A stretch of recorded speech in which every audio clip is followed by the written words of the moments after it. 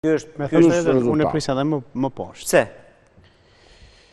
Po SPAK-u mhm. po arreston funksionarë të lartë të të dyja partive. Po. Pra këta njerëz që kanë parti, besojnë partinë e vet. Po. Dhe njëra palë po e sulmon publikisht, siç është rithemelimi. Po.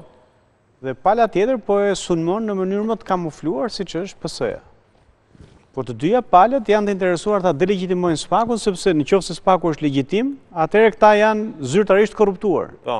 Nëse SPAK-u është ilegjitim, atëherë këta nuk janë të korruptuar, po ka probleme SPAK-u, SPAK-u po bën lojë, SPAK-u është i kontrolluar, e tjera e tjera. Kështu që në këtë pikë, aq shumë sulme sa ka marrë SPAK-u, nga media, nga politikanë, nga portale, nga të gjitha nivelet, Aq e lartë sa është cinizmi në Shqipëri për drejtësinë, kjo do të thotë është historike, pra që...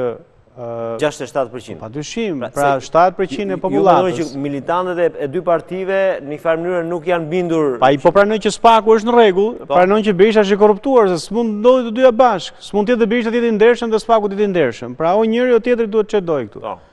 Po pranoi që SPAK-u është i ndershëm, atëherë gjithë këta kryetarë bashkish të PS-së që janë në burg, zëvendëskryeministri në kërkim ndërkombëtar, ministra që janë në burg, do të thotë që këta vjedhkan, pra partia që këta votojnë vjedh, njerëzit që këta zgjedhin të qeverisin vjedhin, kështu që praktikisht në këtë pikë, kjo do të thotë që njerëzit nuk janë budallenj, pra e kuptojnë, pa dyshim mund të votojnë majtas, djathas e tjerë e tjerë, Po jo sepse nuk e dinë se për kë po votojnë, por janë të kapur, janë peng të një situate. Vetë fakti që 67%